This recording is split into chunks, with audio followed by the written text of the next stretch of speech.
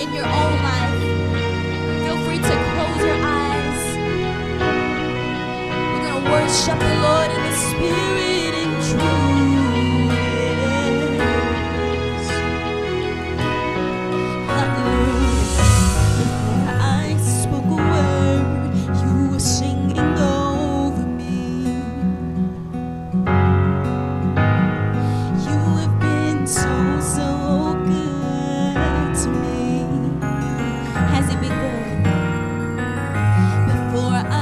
took a breath.